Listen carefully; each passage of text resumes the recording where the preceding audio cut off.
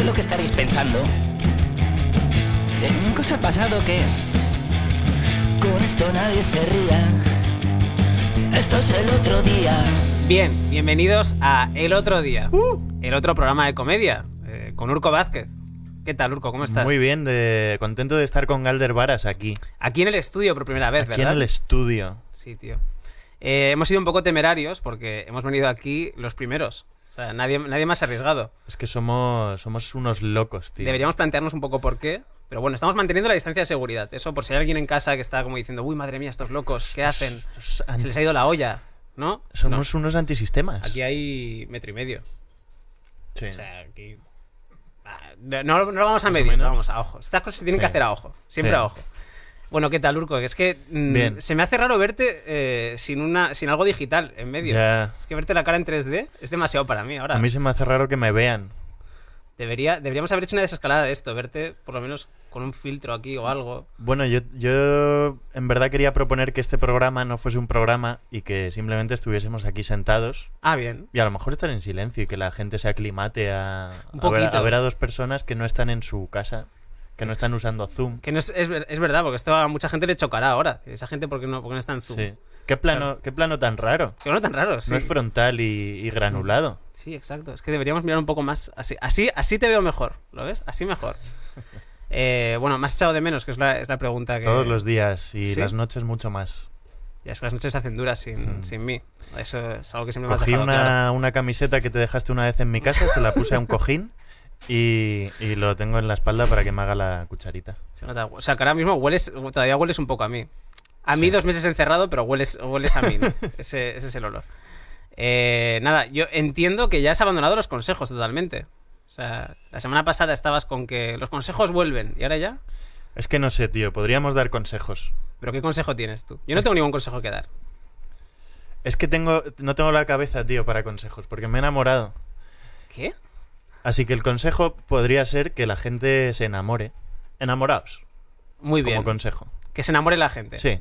Sí, vale. Id a las plazas a, a ¿Se lo enamoraros. has Es lo que he hecho yo. a Pablo Alborán? A lo mejor le, le interesa, a lo mejor no lo tenía claro. Le he pasado una letra de una Sí, canción, ya pásale, saldrá. exacto. Ya Que se enamore la gente. De, recuérdaselo, que a lo mejor se les olvida ahora con tanta, con tanta movida.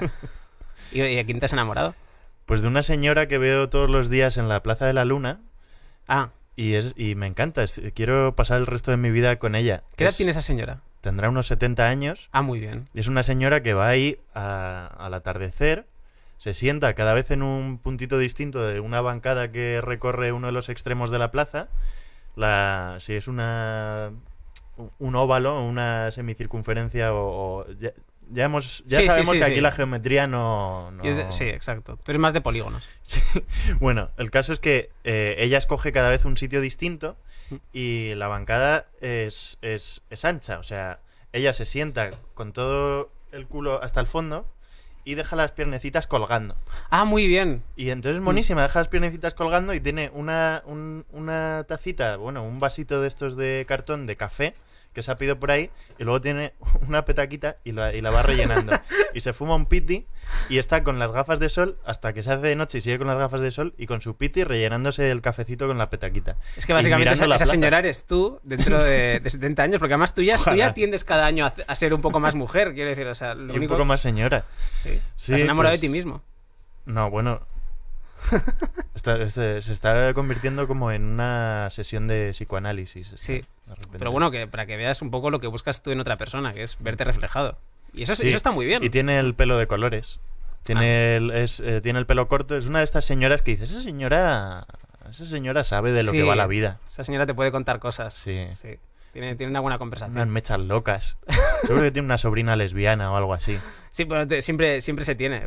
Tú, sí- tú buscas un poco por ahí, seguro que tienes Si alguna. busco entre mis sobrinas, igual Sí. tengo una lesbiana. Yo no he investigado a fondo, pero seguro que tengo alguna, alguna lesbiana. Ojalá, tío. Habrá que, habrá que investigar.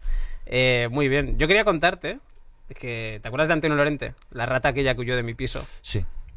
Antonio Lorente, eh, antes de irse de mi piso, eh, como él pensaba cumplir un poco lo que es lo que pedía el gobierno de no salir si era necesario y tal, pensaba quedarse en Madrid y fuimos a hacer una compra a- al Carrefour.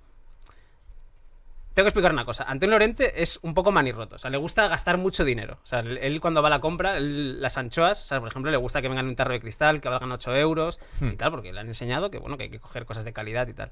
Entonces, claro, a mí me parecía bien, en plan de, bueno, va a ser una compra muy cara, pero la hacemos por Pedro Sánchez, no pasa nada, está bien.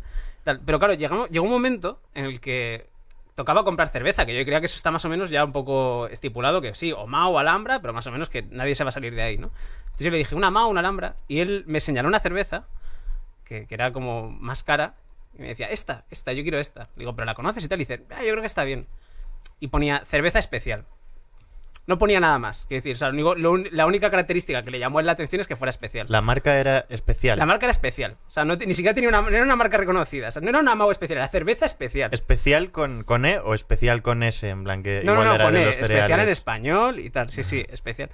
Era una mierda la cerveza. O sea, no, no nos tomamos ninguna. O sea, nos tomamos, abrimos una, sabe, sabe fatal, sabe- tiene como mucho más alcohol del que llevaría una cerveza normal. Fue asqueroso. Luego él se fue. Y claro, y hoy he tenido eh, una epifanía porque eh, no solo compró, o sea, compró unas anchoas, compró a- varias cosas que estaban bastante mal, pero en especial compró un pan, en especial, quédate con esta palabra, en especial compró un pan que era muy caro y era asqueroso. O sea, no sé cómo describirlo, pero no tenía consistencia, o sea, eh, te, te jodía los dientes, era mal, luego además se te hacía como bola en la tráquea, o sea, era como... Joder, Era es un pan muy mal hecho. Era un ¿eh? pan I can't breathe. Era, era ese tipo de pan. Por cierto, eh, todo nuestro apoyo a violencia cero. Pero era, era ese tipo de pan. Y, y claro, entonces es un pan que yo. eh, él se fue de casa. Dije, yo este pan no lo voy a comer. Lo metí en el congelador. Esperando, pues eso, que te olvi- olvidarme de él. Y hoy he tenido la epifanía eh, de, de abrir el congelador porque me faltaba pan. Y leer que nunca había leído el envase del pan. ¿Y sabes qué ponía? Que era especial. pan especial. es imbécil. O sea, quiero decir, no tiene ningún gusto más allá de, de- de- de- de comprar cosas que ponga especial.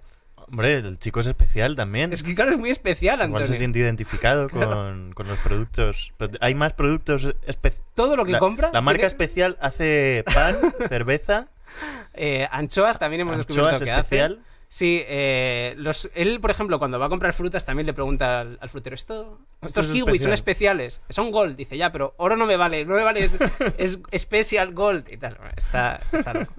Y para terminar, te quería, quería comentarte una noticia, que te la voy a poner aquí. Que esto es. Porque hay que tomar medidas de distanciamiento social. Lo estamos haciendo Urco y yo aquí. eh, muy bien, de hecho. Estoy muy orgulloso de ti, Urco. Y esto es. eh, un zapatero diseña un calzado para que se respete el distanciamiento social, ¿vale? Mira esta mierda. O sea, ¿has visto, ¿has visto lo horrible que es? ¿Has visto esto? Para, para los que nos estén escuchando, son unos zapatos que ves que, que, que empieza por, si empiezan por el tacón, son normales, Hmm, pero según van avanzando hacia la punta, sí. la punta está lejísimos. del- Sí, o sea, no los hacen rojos para que no, no parezcan zapatos de pachacho. son un y ya poco está. zapatos de Eh, payaso. Es lo único. O sea, me parece increíble que hayan, hayan visto un nuevo nicho de mercado, o sea, en zapatos que, que, que promuevan el distanciamiento social, cuando ya era un mercado que estaba copado especialmente por Crocs y, y Quechua. O sea, quiero decir, o sea, no, no hacía falta. Eh, y el diseñador es rumano. O sea, quédate con eso, tío. O sea, ¿cómo estará ahora? ¿Cómo estará ahora Rumanía. no, Fernando Simón. ¿Cómo estará Fernando Simón viendo esto y diciendo, diciéndole a su equipo, pero cómo a nadie se, les, se, les ha, se le ha ocurrido esta, es- esta genialidad? Si es que nos, nos llevan décadas Claro. en Rumanía. Encima son zapatos que vienen con manual de instrucciones, o sea, eh, en paralelo para ir más rápido, Sí, en eh. cuña para frenar. El de la derecha en el pie derecho, ¿no? Sí. Bueno, en fin, eh, zapatos, zapatos horribles. Vamos a cerrar con eso y vamos a dar paso a, a nuestro invitado. Nuestro invitado que teníamos muchas ¿Quién ganas de habrá- tenerlo aquí. habrá- habrá- habrás escogido un invitado que merezca la pena traer en, en Sí. directo, ¿no? En He traído al mejor invitado. Que nos alegre la vista. Sí, Hombre, nos la va a alegrar. Además, de hecho, tiene un peinado precioso. Por favor, Santi Alberú, vamos a dar un aplauso. Oh, yeah. Vamos, vamos, cuidado. Distanciamiento. Distanciamiento. Stansman. Muy bien. Aquí, Y yo creo que ahora- el plástico no cumple su función si nosotros cumplimos en el urco. No, pero es que, Santi, tú tienes que No, estar no, en el estoy en el otro. otro, Ah, perdón, perdón. Qué ganas de roce tiene Santi, Ya, madre mía. ya, Mira que lo habíamos pensado Y todo. le hemos explicado, le hemos, le hemos Ya hecho un plano antes de. Oye, me he reído mucho Ya. con lo que habéis contado. Me he reído, Joder, me he muchas reído, gracias. me he reído con vosotros. Me lo he estado pasando muy bien ahí. Cámara, ¿me puedes? Ahí. Eh, perdón, por este, perdón por este pelo. Eh, voy a intentar A mí mejorar. me encanta, es el pelo, es el peinado que llevaba Tom Cruise en The Last Samurai. Yo, yo solo quiero decir Uy, una cosa verdad. ahora que Sí. Fibeta está volviendo. Eh, yo lo hice antes que Miguel Campos, ¿vale? Eh, Sí. Yo, sea, antes que Miguel Campos, este moño ya se está eh, forjando. Tú no necesitaste una pandemia para, Yo no para darte cuenta que yo esto era no el futuro. necesité una pandemia para dejarme el pelo largo porque yo, deja, yo me dejaba el pelo largo cuando se dejaba el pelo largo la gente valiente. Vale, no los hijos de puta. Oye, a mí, Eh, a mí ese peinado me gusta en especial. Además, te queda mejor que a Miguel porque tienes un pelo del, del mismo tono de color que el de Tom Cruise en El último Samurai, que es de mis Gracias. películas Eh, preferidas. hay una chica francesa que conocí en un pase Bueno. de prensa en, en Londres que me dice que me parezco. Es evidentemente falso, pero A esa ver. chica, una persona en el mundo, dice que me parezco. Bueno, algo, algo tienes, ¿eh? Tienes un ¿Podemos hablar solo de pelo? Podemos hablar solo del último A Samurai. ver, hablemos. Es verdad que Urco, antes que yo, ya estabas tú. Yo es que- Mira lo humilde que es Urco, que podrías haber dicho algo de tu puto pelo y de tu colete y de Nada. tu moño que has tenido siempre, no has dicho nada. Nada, nada, pero porque estoy ya más que acostumbrado. Yo nací niña y, y desde siempre he tenido el pelo larguito. Tuve una etapa rebelde con 8 años, que me volví un poco chico y tenía el pelo de punta, pero me dejé una, una coletilla. como era a Anakin lo- Skywalker. eh, Era la inspiración, sí. Es que ha Como sido entera toda tu así. vida, tío. Sí, sí, sí. Bueno, muchas gracias. pelo de punta, como. No, muchas gracias a ti por venir, eh. Santi. ¿Qué, ta- ¿Qué tal? ¿Cómo estás? Lo primero. O sea, pues mira, yo llevo muy mal eh, no poder. eh, advierto que soy una persona seria, ¿eh? O sea, advierto Sí, que, que- que- que yo en realidad no soy una persona graciosa. O sea, yo nunca he dicho que sea gracioso. Lo que pasa es que todavía nadie se ha dado cuenta. Mola que empieces así la entrevista, como defendiéndote. Oye, yo soy, cuidado, eh. O sea, yo soy serio. Entonces, ¿cuál es mi problema? Mi problema durante la pandemia ha sido que eh, no poder hacer nada me ha generado mucha ansiedad. Porque es verdad que, que a mí me gusta poder hacer cosas y echar para adelante proyectos y demás. Entonces, cuando de pronto le he cogido el truco a la fase cero, que empecé a hacer una sección para zapeando, empecé verdad. a, empecé verdad. a Hablaremos hacer de eso. Sí, vale, sí. empecé a hacer cosas. De pronto llega la fase 1. Y entonces ahora no sé qué hacer. Porque es como que puedo tomar algo, pero Mm. no puedo. Pero sigue, la gente sigue sin tener dinero para contratarme para cosas. Pero zapeando sí que está bien. Entonces, los lunes me despierto a las 2 de la tarde porque. Joder, porque es un genio. no tengo nada que hacer, pero no estoy. No me lo estoy pasando bien. Entonces. Pues tengo problemas del primer mundo. Tengo, tengo cosas como de, de- de gente, de, de chaval cómodo. Sí, que, de- que no sabes cómo gastar el dinero ahora mismo. O sea, no sé ni en qué gastarlo. Y sobre todo que puedes- eres un sinvergüenza. Porque, un sinvergüenza. porque Es que eres has un pasado una cuarentena que has estado más fuera que dentro. Es verdad que estamos fuera. Y eso de que no sabías qué hacer, has estado con la sección esta de zapeando que no se Para sabe. que Miguel Iribar te tenga envidia, o sea, ¿cómo te lo, cómo te lo tienes ¿Por que qué haber me tiene pasado? Miguel Iribar Hombre, envidia? porque yo lo sé, porque estuve el otro día tomando unas cervezas con él y, y- y le decíamos, menuda cuarentena te has pasado. Y decía, bueno, no, para cuarentena la de, la de Santi. La Sí, de- sí, es que está de referencia, vamos. Es Has que estado. es- o sea, es- ¿Cómo le vendiste una sección a Zapeando para empezar? En, la, en la que consistía en que tú viajabas por, por, por la península. Porque Ya. ya no era solo España, Asturias y tal. Es que luego Portugal también, venga, ¿por qué no? Estoy muy orgulloso de esto, os voy a explicar muy rápido. Yo, eh, eso, tres semanas antes de que empecé- el estado de alarma grave se, se, se rompiese, eh, empecé a pensar en qué poder hacer, en qué poder eh, proponer, no solo zapeando, se lo propuse al país, se lo propuse como a diferentes sitios, en plan, oye, dejadme eh, utilizar mis herramientas de comunicador para contar lo que está pasando ahí fuera. Mis herramientas de Ok, diario, ¿qué comunicador, pensáis de esto? ¿Qué- Exacto. qué- No, no, vamos, eh, Satán, satan.com. Eh, ¿Qué opinas de esta idea? Entonces, empecé con varios sitios y al final llegué a Zapeando. Y Zapeando les moló la idea. Llamé a Litos, que Litos es una persona perfecta para, para acompañarme en esto. Primero, porque es verdad que él tenía ya un proyecto, eh, publicaremos algo más adelante sobre esto, de eh, un documental por ahí en carretera, entonces le dije, oye, hacemos esta sección, grabamos más material, que es el material que digo que publicaremos, y lo utilizamos de teaser. Entonces Litos además es perfecto porque se acopla a cualquier aventura, tiene un 205 estupendo. Sin y cinturones, espero que espero que las autoridades pertinentes se hagan cargo porque Muy bien, yo y- me he visto que moríamos más de una vez en ese coche. es, es la persona perfecta para Asturian cualquier... Lives Matter. Sí. Entonces, Tapeando me dijo ok y, y Litos me dijo ok. Y, y fuimos, solo al final solo fueron dos secciones. Porque, eh, bueno, pues hubo quejas y porque al final, bueno, pues la, la dirección ¿Quién, del quién lo iba a decir, eh? ¿Quién lo iba a decir? ¿Quién lo iba a decir? Pero al final no hacíamos nada que no hiciese Ferreras. O sea, no hacíamos nada. O sea, reporteros por Bueno, España. igual un poco sí. No, nosotros seguíamos todas las. Te te lo digo en serio, ¿eh? Nosotros seguíamos todas las. O sea, llevamos mascarilla, llevamos eh, film Sí. para los micros, lle- llevamos a distancia. Hombre, Litos y yo, pues bueno, pues al final de pronto chocábamos un poco, ¿no? Porque, porque convivíamos. Pero es verdad que, que en el momento en que entrábamos en un núcleo urbano, cumplíamos todas las normas. Pero bueno, aún así yo entendí que la dirección de Zapeando eh, quiso eh, parar eso. También tuvo que ver que el coche de Litos eh, se rompió. en Portugal, en Portugal, de pronto dormimos ahí y de pronto al día siguiente al arrancar, no arrancamos. Joder, tío, qué pena. Y sí, y, pero bueno, lo, lo he pasado muy bien, me considero un afortunado, entiendo perfectamente que se haya acabado y que haya vuelto a platón, me parece la hostia, y lo que el resto de material que no se publicó lo sacaremos Litos y yo cuando Litos lo monte, que probablemente sea 2022. Muy bien, eh, Santi. Lo hemos comentado antes, yo no quiero, no quiero dejar de comentarlo ahora en directo, y es que tú has sido un afortunado en este confinamiento, pero lo has sido siempre. O sea, lo único que has hecho es mantener la fortuna que ya tenías, como las grandes fortunas de este país. Al final, quiero decir, no, no, no. Pero...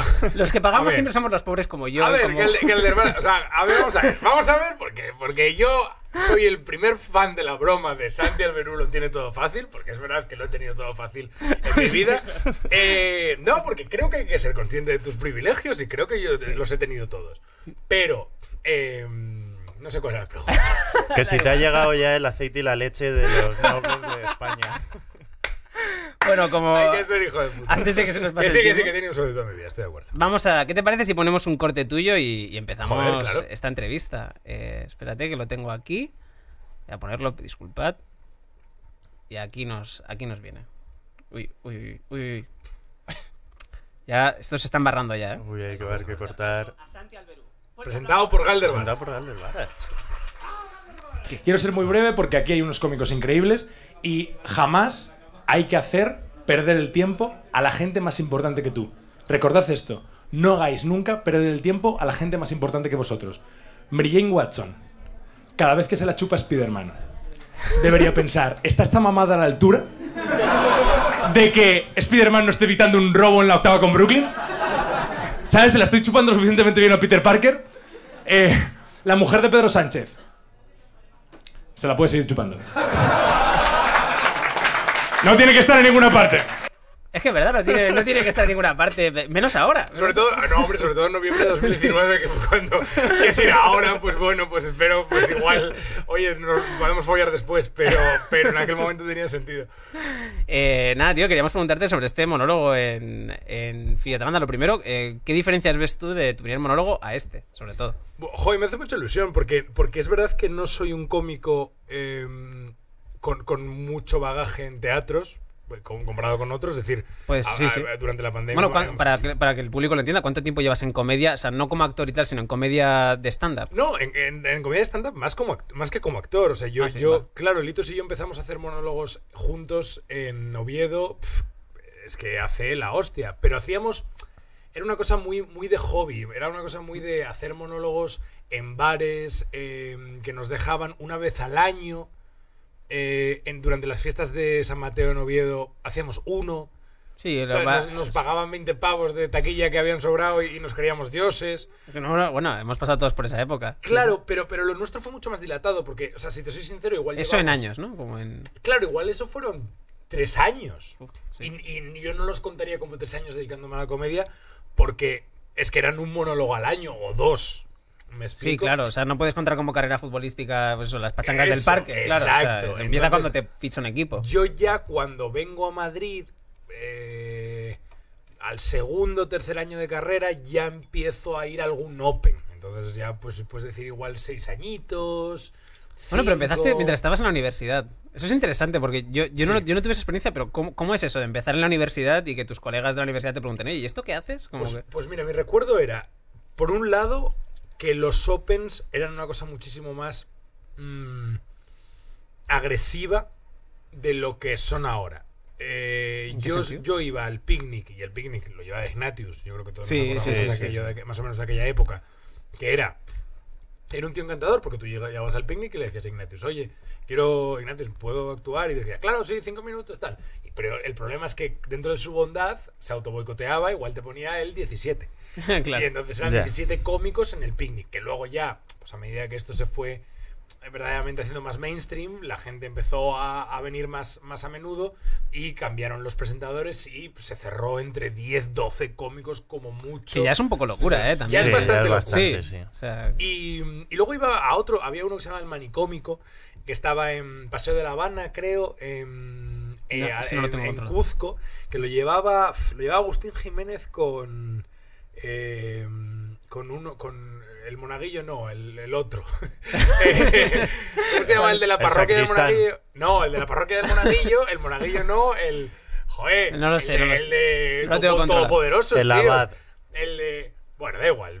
Eh, da El igual. seguro que eh, alguien en los comentarios lo pone. Que sí. Eh, Bueno, entonces eh, a ese fui, por ejemplo, varias veces porque me quedaba cerca de casa y me comía unas mierdas. O sea, yo me comí, yo me he comido mierdas toda mi vida y me sigo comiendo mierdas increíbles. Yo- verdaderamente yo empiezo a tomarme un poco en serio lo de escribir a raíz de selfie. O sea, muy, Vale, muy, a raíz de la muy, peli. muy, muy sí, porque yo ya hacía unos vídeos de improvisación en la calle, tipo caiga quien caiga, con los que me llegaron Iba a la- decir, sí, en semejante ramera. Efectivamente. Qué bonito. Y, esto. que tenía que se llamaba Semejante Ramera, que hacía vídeos. Y, y a raíz de eso. ¿Por qué pues, el título semejante ramera? Es que, es que no lo Porque tenía en otro lado. 18 años y muchos complejos. Entonces, eh, porque era, tenía una foto de Clint Eastwood porque era un puto niño pequeño y hacía críticas en plan de qué malo soy, soy un crítico como boyero. Y en realidad era un gilipollas. Y, y sí, a raíz de ese film me lo- me- ya tenía mis 10 minutos un poco sólidos Ah, guay. que yo creo que son el primer monólogo. El primer monólogo, monólogo de Fibetalanda son 10 minutos que yo llevaba haciendo no toda la vida, pero los típicos de. Típico monólogo de introducción Sí. de un cómico, cómico que son 3 minutos de Soy de Asturias, 3 minutos de me dedico a esto, y luego es verdad que hay 4 minutos que son a raíz de lo de la nominación al Goya y demás. Que, es- que están muy bien. Que, está- Mm. que están ahí. Y luego este, este, la mayor diferencia que yo encuentro con él es que al escribir eh, sí intento decir algo.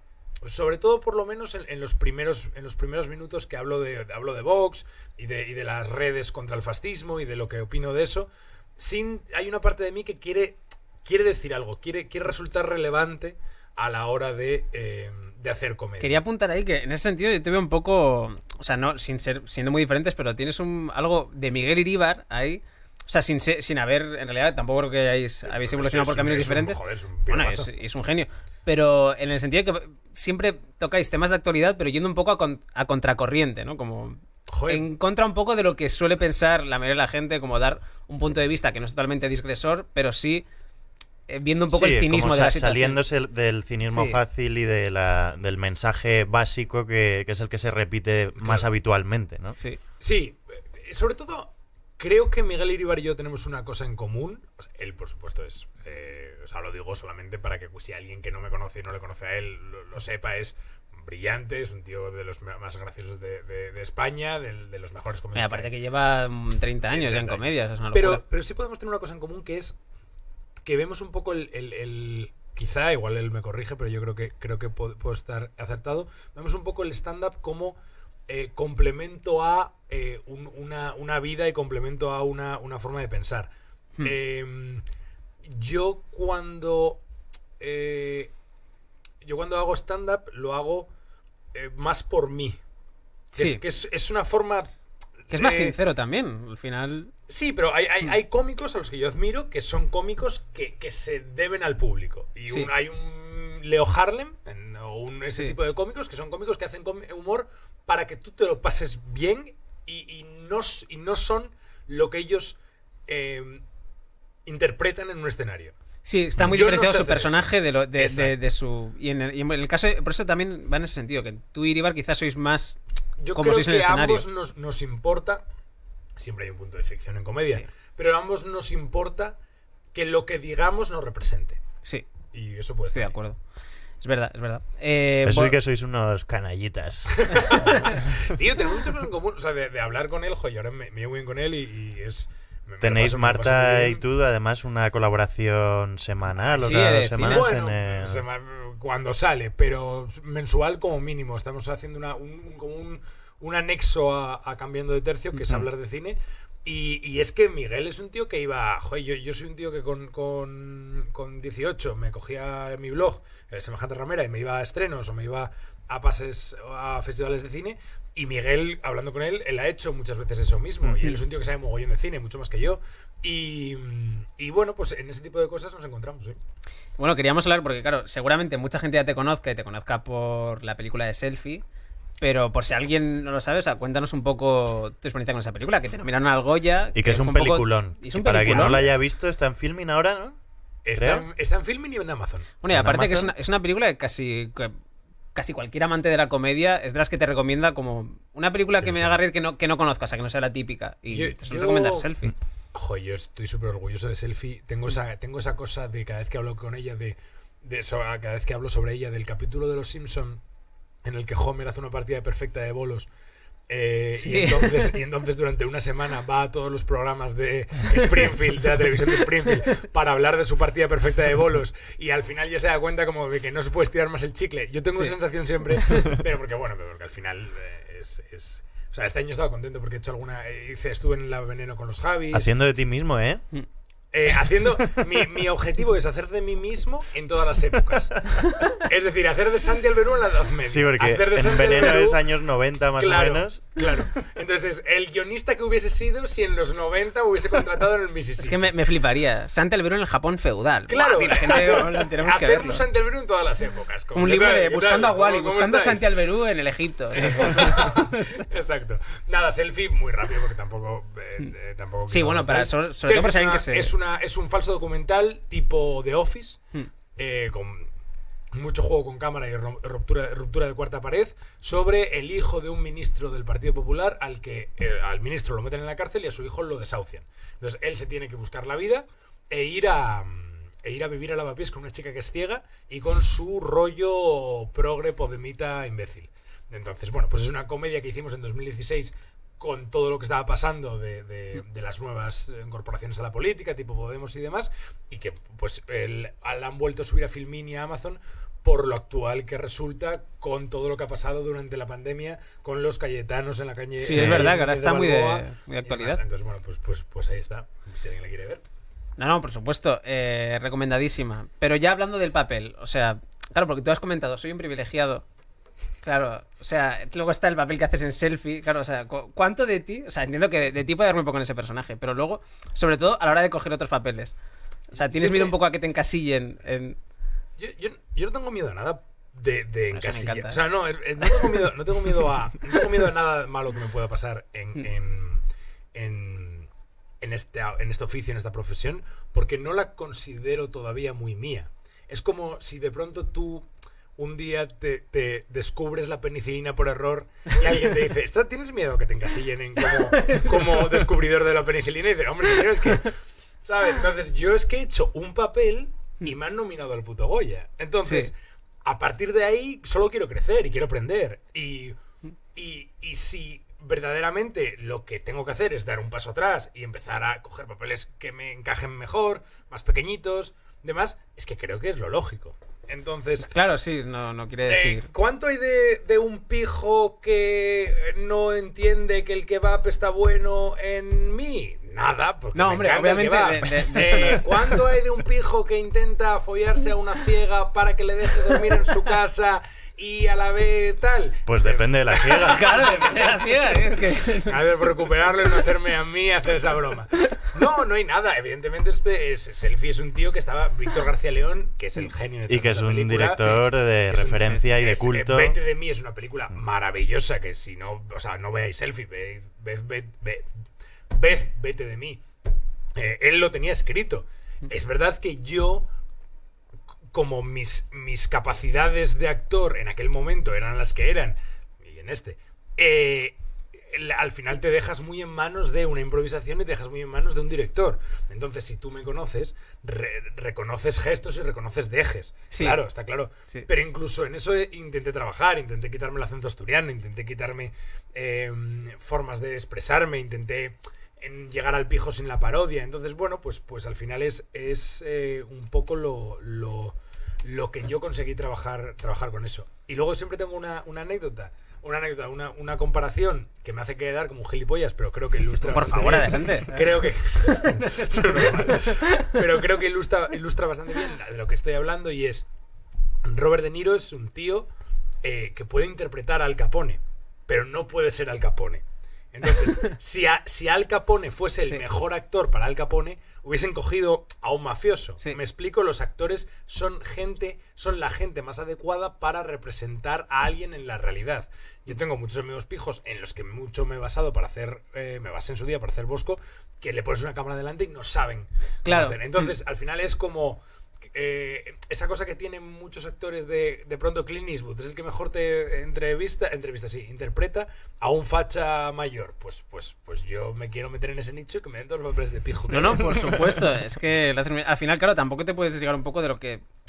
También de lo que pegas para el papel, porque yo entiendo que yo, por muy macarra que sea y por mucha calle que tenga, a mí nadie me va, me va a coger para hacer ese tipo de papeles. Claro, Y- o sea, y- y me cogerían para hacer eso, pues de. Y, y me débil. encantaría, y me encantaría hacer algo completamente opuesto.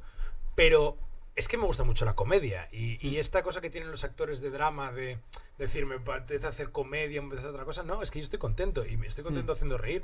Y estoy contento escribiendo, estoy contento haciendo guion. Estoy contento con mi vida. Dentro de dos años. O sea, no tu tu- bueno, sí, está claro, ¿no? Pero que tu interés principal es la comedia. O sea, mm, quizá en cualquier. No solamente en el Mira, formato mi estándar. interés principal es currar. Es currar y tener trabajo. de eso tenemos que hablar. Es que es verdad, es que es currar y tener trabajo. Y, y- y- y creo que se me da bien lo que hago. Y, y Sí. es- y la, y la idea es seguir adelante. Tenemos que hablar Sí, de algo que Una de las cosas que queríamos sí. comentar aquí es que como cómico es muy bueno, la- tienes muchos fans, nosotros estamos entre ellos, es un cómico genial, actor genial, escribe, lo haces todo muy bien, pero lo que eres de verdad, el, el talento mayor que tienes, lo que hay dentro de ti es un vendedor salvaje y despiadado. Tú eres Alec Baldwin en Glenn Gary Glen Rose. O sea, creer que no he visto Glengarry Glen Rose y la llevo, la tengo pendiente, pero es que no está en ningún sitio, tío. bueno, te- Tengo te- que bajármela. Tienes que verte la escena eh, la- de la que, que más se recuerda de la película, que es cuando le habla a los vendedores a Alec Baldwin y hay un tío ahí que está. Pobre Jack Lemon, que está el tío cogiéndose un café y le dice: El café es para los vendedores. ¿Has, has vendido algo? Y el tío, como, ¿qué pasa? Pues yo te imagino a ti en Open Mic como a un cómico con una cerveza. Hace. mm, La cerveza es para los vendedores. Hace unos meses entrevisté a Edward Norton eh, para Cinemanía y por una película que hacía con eh, Alec Baldwin Mm. y me habló de Glengarry Glen Rose y yo como ¡Mierda! ¡Mierda! He visto todo lo que tenía que ver, menos esto. Sí, Es yo vendo, yo vendo bien. Yo vendo bien. Vendes mucho. Pero, tío, claro, es una cosa de la, que, mucho. de, la, de la que nunca hemos hablado en este programa, porque hablamos de comedia, hablamos de tal, Sí, pero de nunca hemos hablado de vendedores. cómo vender una movida. Y yo creo que, aparte de ti, por ejemplo, hay alguien que vende muy bien, que es Castelo. Castelo, yo si algo eh, estoy aprendiendo pero de- mucho de él. mejor. O sea, Castelo sabe mucho más. Bueno, tiene, claro, pero también Tiene tiene, más mucho más experiencia, contactos, obvia- claro. obviamente, pero quiero decir, tú estarías a la altura en quizá en desarrollo de saber vender. Entonces, da- cuéntanos un poco sobre esto.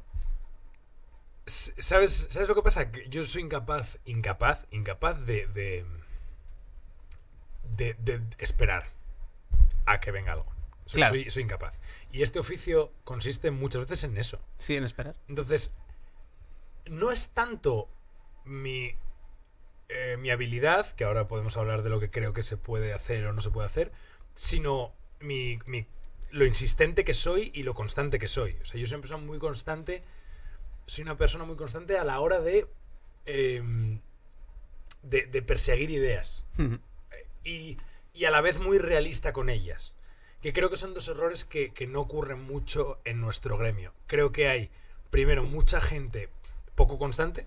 Es decir, mucha gente que, Sí. que te cuenta un día su puta historia perfecta para una película y que a la semana siguiente la han dejado. Sí, se, se ve mucho, o sea, perdón que interrumpa, pero se ve mucho en comedia, ¿no? Que muchos cómicos que empiezan un proyecto y al, al capítulo 2 de lo que sea, de un noticiario o de un podcast de no sé qué tal, se abandona. O sea, es Sí. como que. Total. Pero ya no, ya no solo ideas como. O sea, hablo de ideas un poco ambiciosas. Todos tenemos. O sea, todos tenemos un. Una. Un podcast, cosa. sí, todos, todos tenemos una, todos tenemos una cosa en la cabeza de. Esto es lo que me gustaría hacer. Que igual Sí. no es eh, el orfanato, ¿no? Igual no es. eh, quiero dirigir el señor, el Señor de los Anillos. Pero todos tenemos una cosa arriba. Y la gente no. pre- la gente disfruta más con. eh, un, un estado de letargo en el que eso le- les funciona como un ya pasará Sí. que de enfrentarse a esa idea, que es la segunda parte. Que yo soy tremendamente realista con todo lo que hago y soy tremendamente realista con mis invitaciones y sé que soy el que más tiene del mundo. Entonces, cuando después de. No digas eh, eso, Santi, por favor, no digas Sí, eso. pero y, y después de encontrar eh, tres o cuatro escollos en el camino, pues muchas veces me planteo, ¿merece esto la pena? Y si no merece la pena, lo elimino ya por otra. Hmm. Yo, yo no sé hacer... eh, por ejemplo, a mí me encantaría hacer entrevistas. Me- me- es una cosa que me, Ah, fascina. pero me sí encanta que, el sí que formato de en entrevistas. Cinemanía y en... Sí. Sí, pero solo hago entrevistas. Solo intento solo hacer entrevistas o intento eh, hacer entrevistas si me van a llevar a algo. O sea, tengo, por ejemplo, tres entrevistas grabadas en una terraza que tenía en una casa anterior. Yo vi el... eh, me acuerdo vi eso. Era un sí. formato que era de yo desayunaba Está con gente. bastante guay, sí. pero no he llevado eso al infinito. No, Hmm. no, no, no sé hacer eso. Es decir, hago tres, las hago de calidad y con eso lo intento mover. Pero no intento. eh, no, no hago 2000. Pero No, durante esta ya. cuarentena te has grabado Dos semanas sí, de sí, entrevistas sí. en directo Es o así. diferente porque la cuarentena al final, por, por hacer algo, me obligaba a ello. Y sigo haciéndolo un poco en Instagram. Eh, sigo haciendo entrevistas a gente que conozco una vez por semana.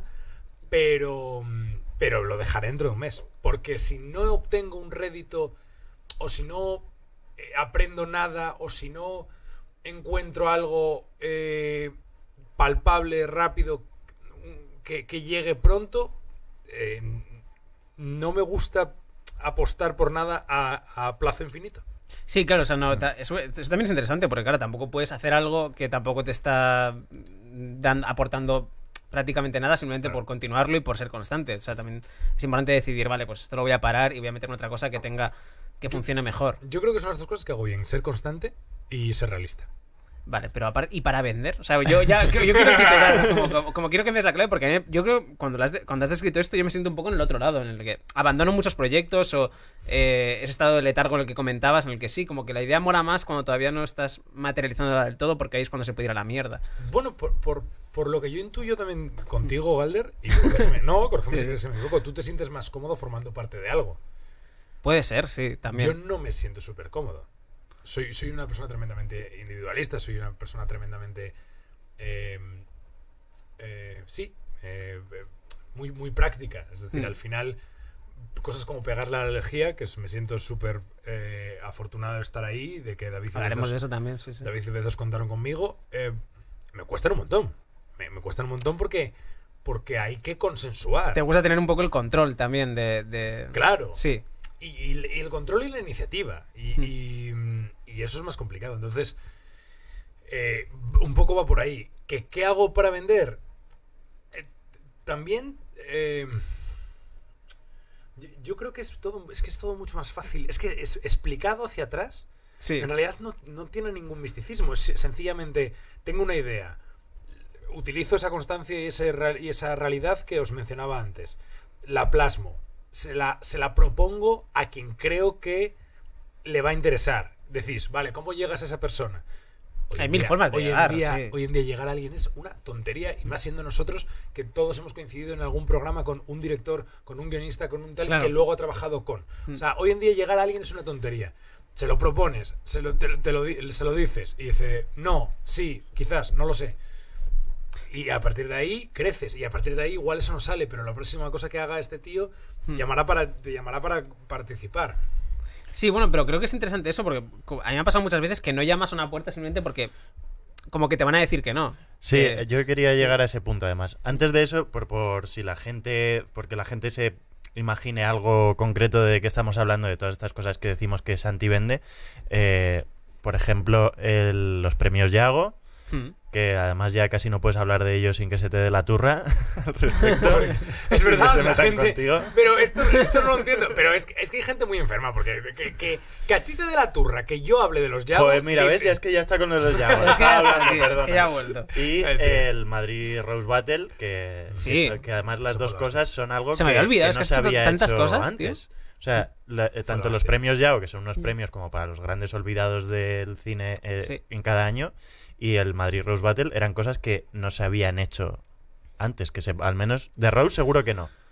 En España Debate no. de Rose en España no, no, en España ese- no. a ese- con ese formato. y no. de los premios de cine, porque yo sepa tampoco, ¿no? Lo- lo- el Rose Battle, hay que decir que lo comparto con Lalo Tenorio. Lalo o sea, que Tenorio, Lalo Sí, bueno, claro. Mm. Es mi eh, cosocio, o como queráis llamarlo. Socio, no hace falta añadirle el co a la palabra socio. y, mm, Sí, y entre esas dos cosas, mil que se han ido a la mierda, ¿eh? O sea, y entre esas dos cosas. Claro, y ahí donde iba Galder, el no, que yo creo que es de las cosas Sí. que más eh, se interpone entre el- las ideas y las iniciativas que pueda tener alguien. Tú estás acostumbrado al no, en plan, ¿crees que gestionas el no mejor que la media de las personas? ¿O te da menos miedo de primeras el no? Claro, bueno, es que va un poco por ahí. A veces como que tienes un poco de miedo a que te digan que no y como directamente que no, como que no lo presentas y piensas que es ¿por algo negativo. es que no, es que me da tanto igual. Claro, exacto. Es que ahí está tu grandeza, Santi. Es que ahí Pero está no, tu hombre, pero porque. A ver, primero, porque yo a la gente que molesto, la molesto para algo importante. Hmm. O sea, eso es lo primero. Sí. No, es que, es que esto, esto es una cosa que hay que saber y es. Vale, sí, jaja, vender, jijaja. Ya, bueno, pero es que yo tengo. Joder, soy un profesional. Claro. Es que todos lo somos. Es que llevo muchos años trabajando. Bueno, no sé si muchos, pero llevo unos años trabajando en esto. Y conozco cosas de esto. Y cuando yo lanzo una proye- un proyecto, una propuesta a alguien, tiene sentido. O creo que lo tiene. Nunca. No, no mando mails con, mira, he hecho un dibujo. Eh, ¿Quieres comprarme este dibujo? No, mando dosies, pregunto, mira a ver quién puede involucrar, etcétera, etcétera. Sí. Entonces, eso por un lado, quiero decir, por un lado pierdes, tú pierdes el no, pero pasa también cuando ligas con alguien, es que tú pierdes el no. Lleva- pierdes Llévatelo a miedo- un terreno que dominemos, exacto. Claro, claro. pierdes el miedo al Ligar, no, pierdes domino. el miedo al no cuando, cuando ya, cuando sabes que tus cartas son buenas. Pero tú sabes miedo- que no es no. Yo nunca he perdido a- el miedo al no en el amor, claro. Cartas. No, dices, dices, oye, apuesto, dicho, claro. apuesto porque tengo póker. Entonces, bueno, pues vale, que, que no tenías póker, que tenías escalera y el otro tenía póker. Bueno, vale, tal. Pero no es, no es. El miedo al no es como un concepto que va detrás de eh, poca preparación. Y yo creo que lo más importante es prepararte. Y cuando te lo preparas, es que el, el- el no no suena a no, suena a jo, tío, esto me molaba, pero ahora no, para la siguiente. Entonces, realmente un no, un no doloroso, un no de por favor, no vuelvas a, a llamarme porque eres la mierda. Nunca lo he tenido. Siempre he, si- siempre he contactado con gente que me ha dicho, vale. Y luego he tenido mucha suerte, mucha gente que me ha enseñado muchas cosas, ¿eh? Pero es sobre todo eso, preparación. La preparación te ayuda a evitar el no. Muy bien. Es que es una, es una buena reflexión, Urco. Tenemos que aprender. ¿vale? que ponte, a, prepararse. ponte a tope con tus proyectos, porque es que mm, me tienes ya con la serie esa y con no sé qué, que, que ya te digo. eh. No, mira, una La que- novelita. La me novelita. la novelita esa que vas escribiendo. Toda la vida. Una cosa que me ha flipado de cuarentena es válidas.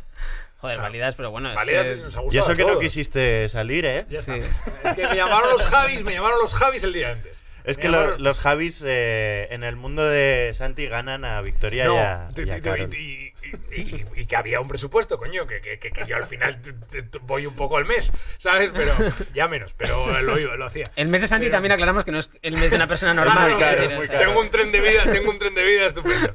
Eh, entonces, no, pero Válidas me ha flipado y Válidas es una cosa que tiene mucho sentido.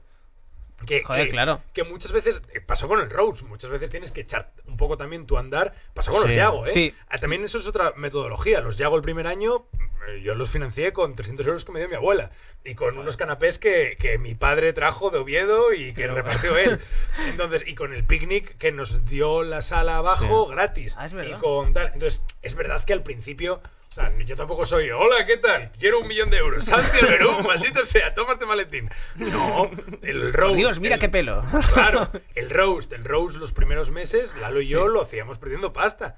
Y luego ganamos un poquito. Pero un poquito. Sí, es verdad, yo me acuerdo de, de que, que en- alguna vez lo habéis comentado, sobre todo en los primeros, en el Teatro de las Aguas y tal, que como que las hacía un poco para ver si llegaba más. Obviamente no, no lo haces nunca de manera altruista, Claro, nada, ningún proyecto, pero, pero, haces, pero- pero haces un buen trabajo, Sí. eh, llamas atención de alguien, en este caso Víctor Ladrón de Guevara lo vio Sí. y dijo, venga, ¿dónde lo llevamos? Y empezamos a llevarlo a, a sitios, a Valencia, al Parcial de Prensa, a Gijón, tal.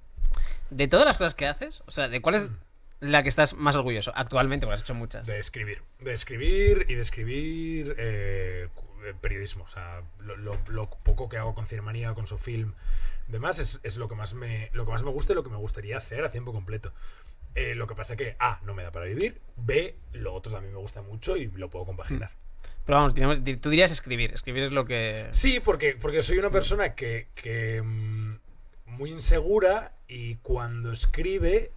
No eh, transmites eso, ¿eh? La inseguridad no... O, o insegura o, o- no insegura igual de timidez, pero insegura en lo que... En, en- en- poco convencida. Yo soy muy poco convencido. Yo no, no te- no tengo...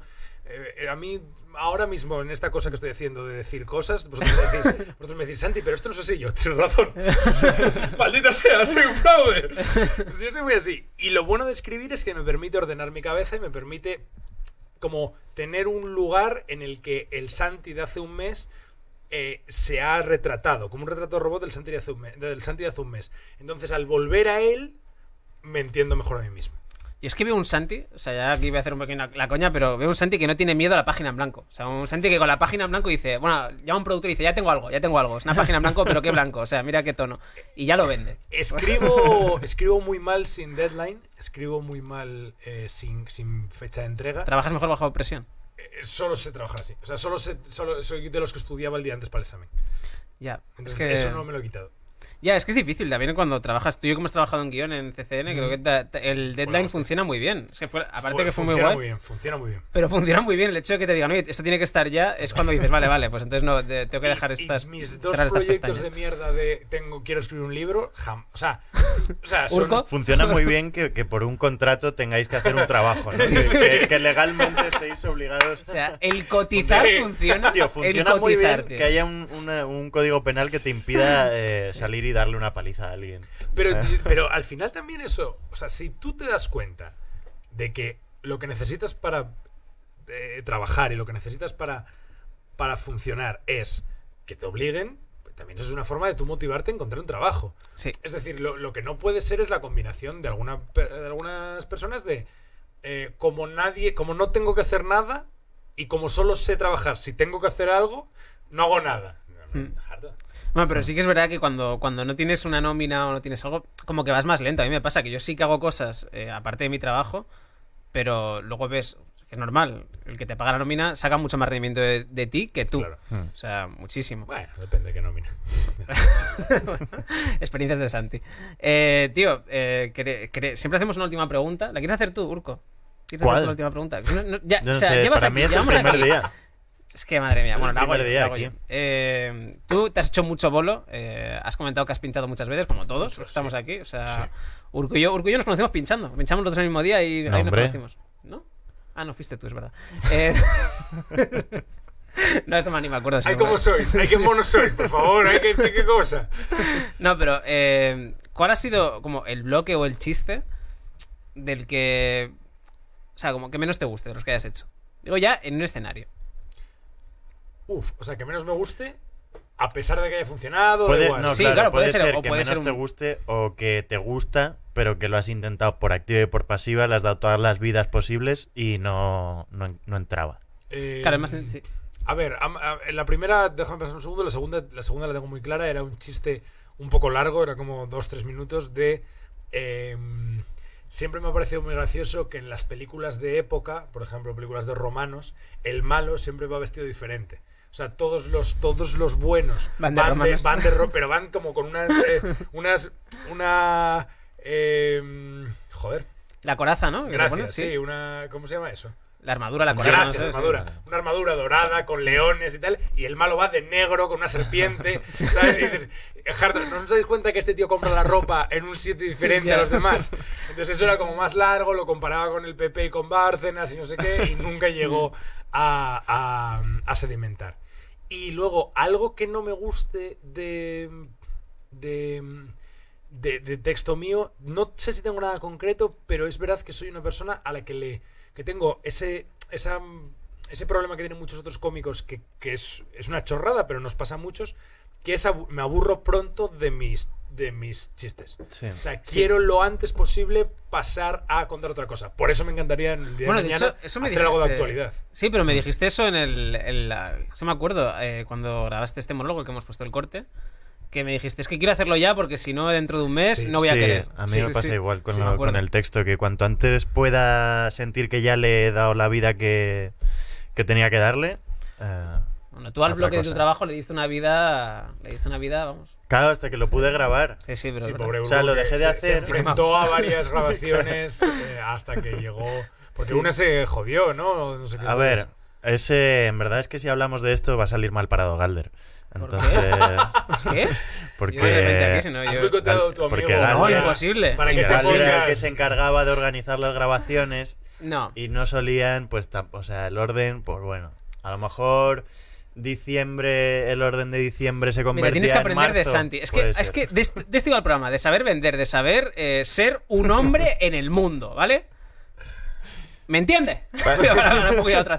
No, pero, eh, por ejemplo, Santi era como, quiero ir tal semana, tal, no sé qué, apúntame. Y tú era como, tú eras como un poco, bueno, tío, quiero ir pronto. Es verdad, tal. Pero bueno, pero si a mí me cerraste fechas en diciembre y tuve no que grabar en no abril. Bueno, Bueno. chicos, Uy, chicos, el chicos, último, un metro de el distancia. último monólogo que se grabó, el, el último monólogo que se grabó de Pibe Talanda antes de la cuarentena y yo iba a grabar en diciembre, a principios de diciembre. Bueno, está acabando la entrevista ya, Santi. Ah, ya está. Sí, pero es que no, no, no creo que vaya a salir bien parado. Ah, Urco, choca y... Oh, peligro. Muchas gracias por venir, Santi. No, de joder, verdad. gracias a vosotros eh, por, por que, con dejarme hablar de, de, de cosas de las que no me deja hablar nadie. Que es, por ejemplo, eh, la comedia. Para eso estamos. Y ahora enséñanos el pantaloncito que llevas. Así de despedida. Eh, pero vas muy bien. Una pierna tengo yo corriendo por el Parque del Oeste dos semanas.